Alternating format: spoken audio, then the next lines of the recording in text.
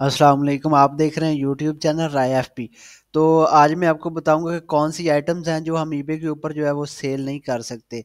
تو اس کے لیے جو ہے وہ آپ کو جانا ہوگا ای بے کے، ادھر گوگل پہ آپ سرچ کر لیں گے کہ ای بے ریسٹرکٹیڈ آئٹمز یہاں سے پہلے دو لنک آپ نے اوپن کر لینے، یہاں سے آپ کو ساری ڈیٹیل مل جائے گی کہ کون کون سی ایسی آئٹمز ہیں جو ای بے الاؤ نہیں کرتا جیسے پروہیبٹیڈ اینڈ ریسٹرکٹیڈ آئٹمز ایسی آئٹم جو ای بے نے منع کی ہوئی ہیں اور ایسی جو ای بے نے ریسٹرکٹ کی ہوئی ہیں کہ یہ کوئی سیل نہیں کر سکتا.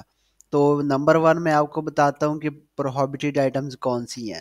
تو اس کے لیے یہ دیکھیں کہ دیز آئٹمز میں ناٹ بھی لسٹڈ ہونی یعنی ای بے کے اوپر ہم لسٹ نہیں کر سکتے.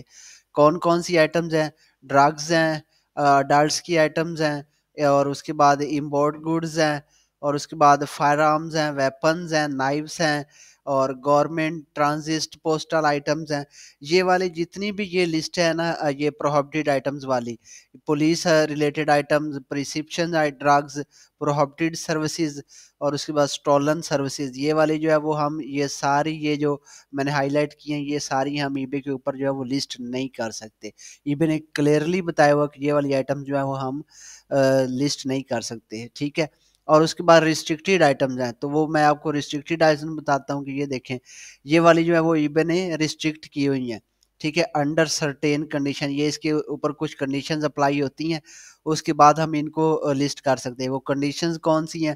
اس کے لیے ہمارے پاس ان کی انوائس ہونی چاہیے، ہمارے پاس جو ہے لائسنس ہونا چاہیے یہ الکوہل سیل کرنا اس کے لیے اور اس کے بعد باقی اور چیزیں ہیں۔ یہ دیکھیں جو ایبن نے ریسٹرکٹ کی ہوئی ہیں کہ یہ والی آئٹم جو ہیں وہ سیلر سیل نہیں کر سکتے نیو سیلر اس کے اندر آ جاتا ہے الکوہل کی آئٹمز آ جاتی ہیں animal and wildlife products اور اس کے بعد اینٹیکس کلچرل آئٹمز اور اس کے بعد کلاتھس یوز میں جو کلاتھس ہیں وہ ہم سیل نہیں کر سکتے۔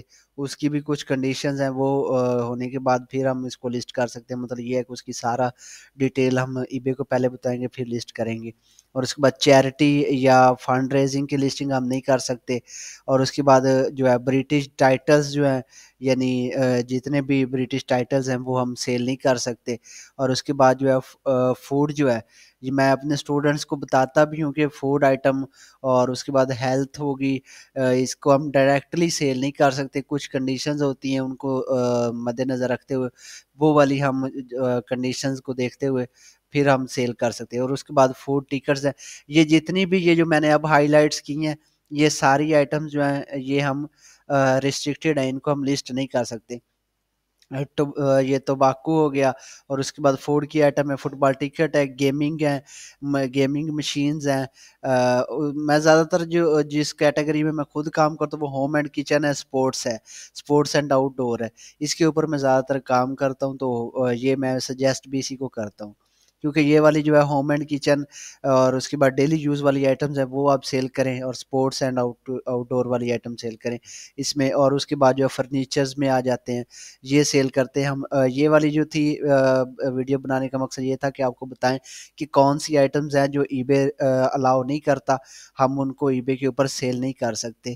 میں اپنے اسٹوڈنٹس کو تو ون بائی ون بھی گائیڈ کرتا ہوں، بتاتا ہوں اور اس کے بعد آپ سبھی کے لیے یہ میں نے ویڈیو بنائی کہ ریسٹرکٹیڈ اینڈ پروہبٹیڈ آئٹمس جو نے منع کی ہوئی ہیں کہ ہم سیل نہیں کر سکتے۔ کافی سیلرز ہیں جو لگا کے بیٹھ جاتے ہیں، بعد میں ان کا اکاؤنٹ سسپینڈ ہو جاتا ہے۔ تو اگلی ویڈیو انشاءاللہ میں آپ کو بتاؤں گا کہ ای بے کا اکاؤنٹ سسپینڈ کیوں ہوتا ہے۔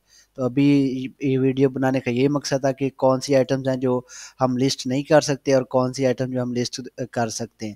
تو یہ والی جو لسٹ نہیں کر سکتے، ان کی میں نے لسٹ آپ کو بنا، بتا دی ہے اور اس کی لنک جو ہے وہ آپ کو ڈسکرپشن میں بھی مل جائے گا۔ اللہ حافظ۔